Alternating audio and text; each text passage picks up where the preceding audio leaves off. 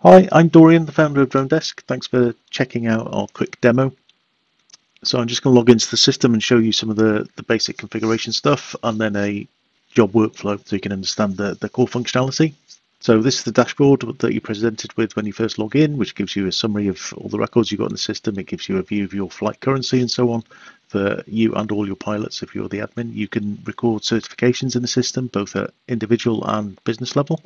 And this will track those for you and let you know when they're up for renewal. Then we've got the calendar, and that'll show you all the jobs that you've got scheduled in the system with quick links to go and manage those jobs. Below that, we've got the to-do list, which you can use as your own to-do list if you want to. But anything with the red bell icon is system generated, so that'll be stuff that needs your attention. So the system's constantly monitoring of things going on, and will point you towards things that um, you need to take care of. So we've got jobs with quote overdue, uh, jobs past next action date, that kind of stuff. In terms, uh, I'll just mention the uh, bell icon here. So this in the UK uh, will present um, CAA Skywise notifications. So as soon as those come out, we uh, we notify them here for you. So that saves you scheduling um, or subscribing to their email list. In the US, you'll get TFR notifications, so um, they're all bang up to date.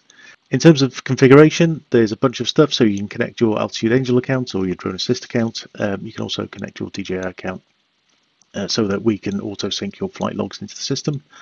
If you've got data in other systems, you can import that. Um, so you just download the template file and then upload. A job within Dronedesk is managed in a single screen, so the screen gives you everything that you need to manage the job end to end, and it's broken down into the, these sections. So what you, we allow you to do uh, for six different um, job classes is set up a configuration to determine which of those sections are shown on screen or are included in any of the three PDF job exports that you're able to generate from the system. So we give you complete configuration options over over all that view, the screen view and the PDF exports. For those PDF exports, you can set up a document header um, so that you know it's got your brand on the first page and then the job detail below that. If you use method statements, you can set a default method statement that gets added to every new job if you choose it to, and then you can modify that on a per job basis uh, as you need to. Uh, operational notes is the same. Then we've got risk assessment. So we have three different flavors of risk assessment standard PDRA 01 if you're in the UK and OSC. And you can pre configure multiple different versions of, of, of uh, risk assessments, as you can see here. You can, if you want to, pre-configure the um, risk scores, um, and they're based on this standard 5x5 risk matrix. So, you know, setting a score is as simple as selecting the score there. Then we've got checklists, so we give you seven different checklists, and again, these are all entirely configurable by you. You can um, set these up as you want them, uh, and again, they get added to every job when you um, create a job. So just to run through a workflow, typically the starting point would be a location, and you can create that by multiple different means. Uh, so let's just give it a name. You can enter what three words to address, postcode, lat long, easting, northing. You can uh, do an address search. You can pan and zoom on the map. So let's just do that just by way of demo. Uh, so all I've done there is just double click on the map. It's dropped a pin of that location with a uh, 30, 50, 150 meter radius around that. Uh, just give you an idea of clearances and you can see we've got some ground hazard information here so rail network so all these uh, ground and air hazard uh, data come in from altitude angel so it's exactly the same stuff as you see in drone assist you'll also notice that uh, Dronedesk has filled in all the other fields for me so you know I don't have to go hunting for the airspace class or the grid reference elevation and so on it's all done uh, done for me. So we'll save that as our new location. Um, it's got to be unique unique name. So let's try again with two. Okay, so for that location, I'm now going to create a new job. Uh, you can set the system up to create sequential job references if you want to. Uh, we'll set the job class as standard, the job type. Let's say we're going to do a roof inspection. Um, I'll set myself as the client the location we've already got. I'll select the pilot and the drone that's going to be used. We give you a view of the weather forecast for the coming 10 days of the RAG status for uh, KP index, wind speed, uh, chance of rain, temperature and so on. So we'll say we can do this tomorrow. Uh, midday-ish, um, we'll select the appropriate risk assessment here. So these are all the pre-configured risk assessments. So I'll select the standard one um, and we'll go and manage that job. I'll mention clone job while I'm here. That enables you to create an exact copy of a previous job that you've done, copy with all your notes and maps and everything copied across. So it's just a really quick way of creating a revisit. So we'll dive into manage job. As I mentioned earlier, this uh, screen enables you to manage every aspect of the job end to end without having to go anywhere else for any other data or any other information. Broken down into sections, pre-deployment, on-site, post-flight, uh, and so on. So job details uh, just gives you a view of the uh, client, the job details, uh, the pilot and which drone is going to be used. You can optionally mark these sections as complete and all that does is change the icon color to green. So as soon as you access the job, you know which sections have been completed and which haven't. Initial survey. Uh, so this just gives you space to record uh, your desktop observations about the site. So are there any like likely to be any site access issues, building problems, livestock, that kind of stuff? Um, none of these fields are mandatory. It's up to you how much detail you fill in. Um, and you can set a default text to be uh, placeholder text to be put in there if you wanted to. Notifications is the next section that allows you to record notifications. So if you're notifying police or the landowner or neighbours or anybody else about this flight uh, or air traffic control centre, for example, then you can um, record that notification here so that you know or anybody view, reviewing this job will know at any point in time who has been notified and when they were notified and so on. And you can obviously add as many rows in here as you need to. Emergency contacts, that gives you information about nearest hospital, um, local police service, contact information and various other emergency contact numbers. Then we've got the method statement, so it's pulled in that method statement that I'd set up previously, um, and I can now modify that as I need to for this specific job. Flyaway airspace users, this will calculate the flyaway radius of the drone that you selected for the job.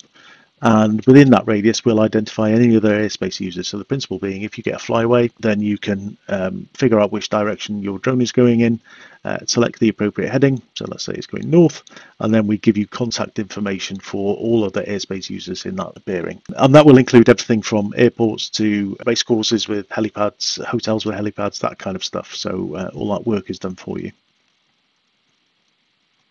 Then we come to NOTAMs. So we pull in NOTAMs every half hour uh, throughout the day.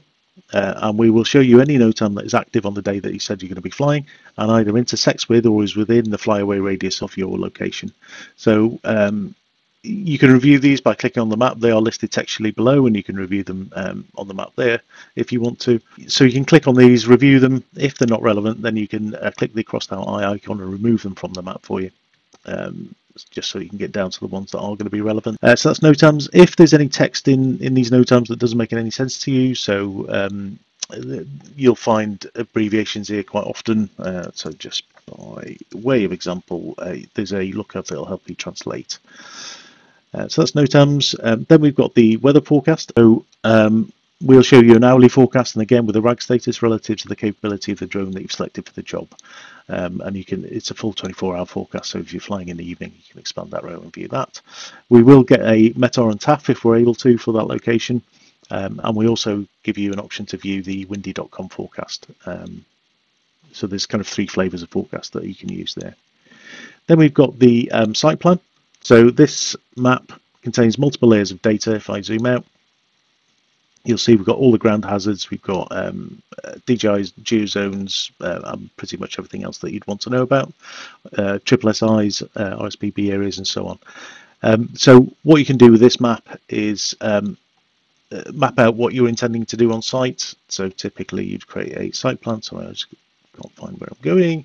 Um, so it looks like yeah we're, we're within a mic microlight site. So you might want to contact them, just let them know that, that you're going to be flying. Just to demonstrate the tools available here, so if we're doing a um, survey of, let's say, this field, you could map out the area, indicate where your takeoff and landing point is going to be, uh, indicate where the pilot's going to be located. If you're taking safety marshals, indicate where they're going to be. Uh, if you've notified people, you can indicate that. Um, you can even, if you want to, um, uh, map out your um, flight path, intended flight path um, you can add a note, editable and so on. So that's the site plan. You can import KML, you can export this map as a snapshot or as a KML if you want to. Uh, there's also a 3D view if you're um, in a city, uh, just to give you an idea of building height and so on.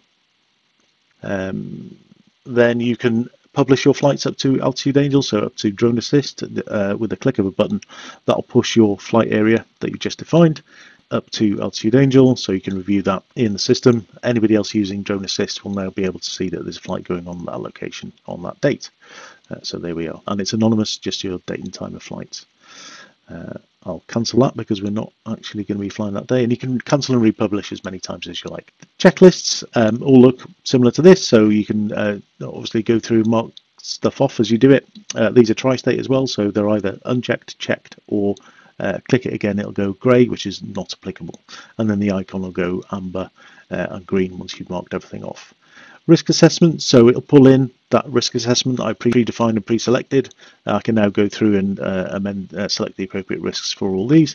And then at the end, I'll get an overall risk score to let me know whether or not it's going to be good to fly or not. Then we further checklists and then we've got flight logging. So you can either log flights manually. So just click in the field and set your start and end time. You can click a button when you take off, click a land button when you land, and that'll timestamp that for you.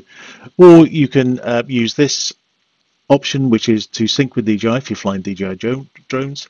Uh, so clicking that will pull in any flight logs for this location, this date, process them for you and map them out on the on the map. Uh, you can also import logs directly um, from your device, DJI Parrot Zag, um, or from any of these applications. And all those uh, flight logs feed into your uh, flight log reporting.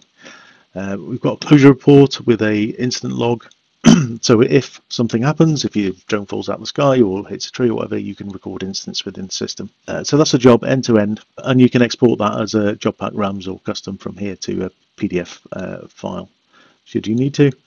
Uh, and then reporting wise, we've got uh, an incident log report, we've got a flight log report, uh, so you can pull flight logs by um, pilot, by drone if you want to, or all drones by a spe specified date range. Um, and exporting to PDF will give you CAA compliant PDF export, um, or to Excel will give you all the data that we have. There's also a maintenance log report, so just select your drone. You can export a, uh, a maintenance log as well at any point in time. Uh, so that's a very quick canter through the main bits of Dronedesk. I hope that's proved useful. If you've got any other questions, please reach out, get in touch. Uh, it's Dorian at dronedesk.io or via the website dronedesk.io. Thanks for watching. Um, hope to welcome you on board soon.